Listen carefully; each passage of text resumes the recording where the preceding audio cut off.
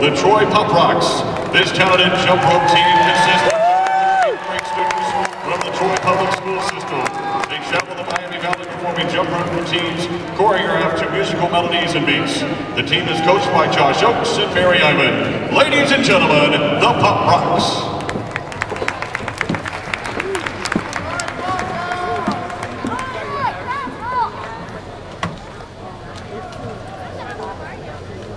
the Pop Rocks.